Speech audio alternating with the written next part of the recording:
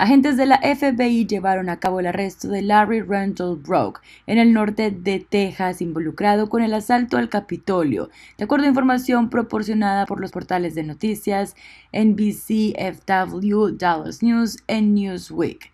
De acuerdo a los primeros reportes emitidos por funcionarios, Brooke, de 53 años, vivía en un complejo de apartamentos en Main Street en Grapevine y se rindió ante los agentes del FBI.